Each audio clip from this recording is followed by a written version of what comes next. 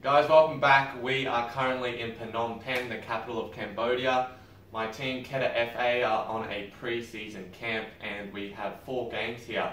And lucky for us, we have a person that records all the games and all the training. So I go to him after the game and I give him my USB here and I ask him to give me the uh, video so I can analyze my own performance as I have been doing. And something that I noticed that I think would help you guys out a lot because I see even at the top level some players don't do this. I was watching Chelsea the other day and I'll talk about that.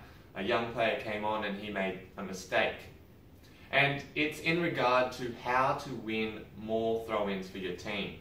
So normally when the ball goes out and it's 50-50, the referee, he's only human. So he's influenced by how people react. And if you are not saying it's your ball and walking in the direction that you're attacking, then he's more likely to give it to the opposition if they say, hey, it's our ball.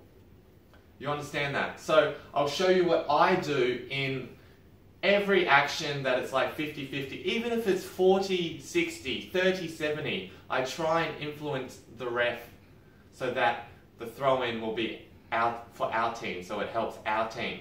So watch this first. I'll put it up on, on the video and you can see what I do.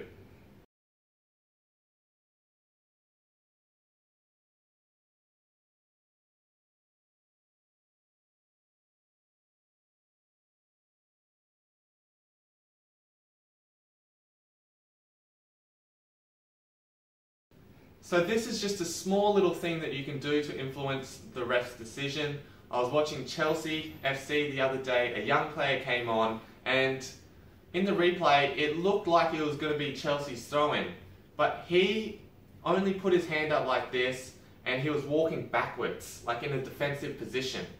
And what did the coach uh, what did the referee do? He gave the ball to the other team for a throw-in now if he would have put his hand up and said hey our ball and start walking in an attacking attacking position walking forward, then the referee automatically thinks, yeah, he must be right.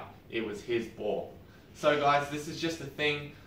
Maybe you, maybe you do this already, but for those that don't, you should do this, implement it into your game, and it will help your team. Spread the word, spread the love, and everyone will be a better player for it.